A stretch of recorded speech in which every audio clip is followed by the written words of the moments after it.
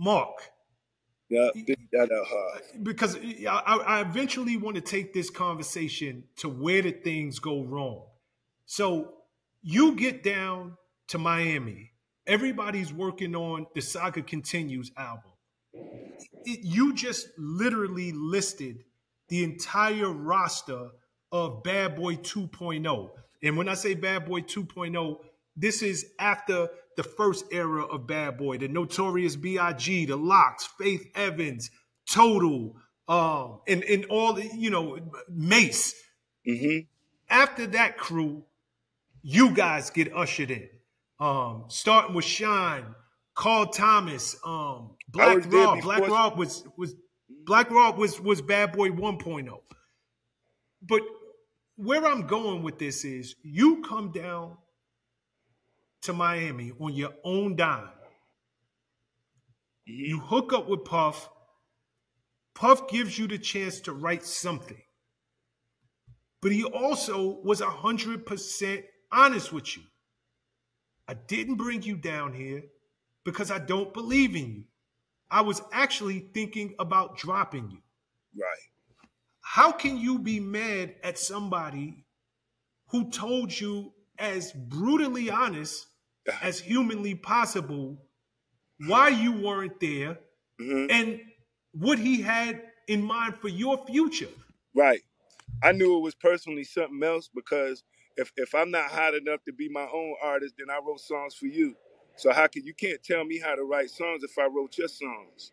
So it's like you can't judge my talent. You can't tell me if I'm good or not. I write I write for you. You write you say the words that I say. You live in my words. So if you live in my words, you can't tell me you're gonna drop me. I thought that was the biggest joke in the world. I laughed at it. You know what I'm saying? You can't drop something that, you know what I mean? You can't drop something that's hot. Even if you want to drop me, it's okay. That's fine. I could go. I could do it somewhere else. I'm not going to I'm not going to stop. And still, like to this day, if you hear the music, I'm, I still do the same kind of music I was doing back then, and the music I do now is just as good as it was when I did it then. Still, a, okay. still something to be reckoned. with. Yeah, still, I'm still a problem out here. you know, and that's Mark, how it always. So yeah, you you you're an artist. You mm-hmm. should feel like you're hot. Nobody can tell you that you're not hot. I get it 100%. But it's his label, it's his budget, and being quote unquote hot is subjective. You might be hot to millions of people. Mm-hmm. But if you're not hot to the man who's cutting the checks, right? You know but, he but has then, the right you know, to say, "Look, not hot to the, you know, I'm, I'm hold, living up." yeah. Hold, hold for one second. Hold for one second. This man, and again, I'm not defending him. Mm-hmm. I'm I'm trying to be objective mm-hmm. in this conversation. So, if this man thought enough of you to initially sign you to the label and then after signing you, a year goes by, two years go by, three years go by. He says, you know what? My my my initial thoughts on this artist, I thought he was hot.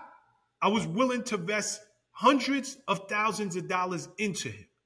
Mm-hmm. A few years later, I don't feel that way. Right. Why is it an issue if he at that point says, you know what? I'm gonna cut my losses. I'm a businessman. Sometimes you win, sometimes you lose. Right. So with that case, Shawn Prez, when I was going into the office and I was asking like Francesca Spiro, you remember her, right? Mm-hmm. And Absolutely. I remember Francesca Spiro, what's going on with my deal? And finally they started being honest with me and told me I didn't have a recording budget. So then I started wondering where happened what happened to my recording budget. That means what happened to my recording budget? I ain't had they spent my recording budget. I didn't have no money to record an album. That's what happened up there. But but but that's not that's not totally accurate, Mark. And and I'm only saying because I'm, I'm a record label know, executive. I didn't have a recording. No, I understand. But mm-hmm. recording budgets are allocated. Recording budgets are allocated when there's t- when it's time to do an album. Right. If if he had, if if he or Harve or, or, or the label as a whole had no intention of allowing you to record a budget, there wouldn't be a recording budget. Yes, you would have gotten your advance. Uh, he- hear me out, because I'm just trying to educate you. Yes, Right. you would have gotten your advance, but an advance is far different than a recording budget, which is also far different than a marketing and promotion budget.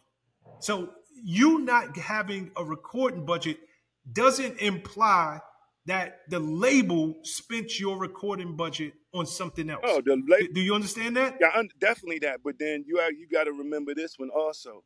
How I signed to Puff, I signed to him through a friends of his. You don't think that he gave the friends no money? So there was some money this past. It just didn't come my way.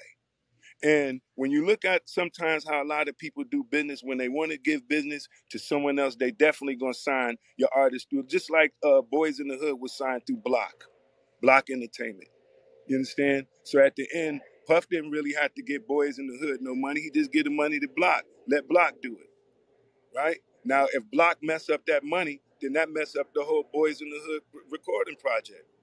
Right? So it's no it's no problem because those things are like water under the bridge. We can't bring that back. Those are things that I had to learn to deal with and accept, and I done it. You know, I moved on from that. I don't I don't look and point fingers and say he gave you this money or he did this or what happened. It's almost like when you audit, you can audit and say let's let's do an audit on my budget and let's let's figure out where my money went to. You know what I'm saying? And just one of those kind of things, man. It's just business. What's up, guys? Thanks for sticking with me to the end of the video. Truly appreciate you. If you like anything you heard here today, go ahead and hit that subscribe button. And if you know anybody that can benefit from this message, feel free to share. Peace and love. Make every move a power move, and I'll catch you all on the next video.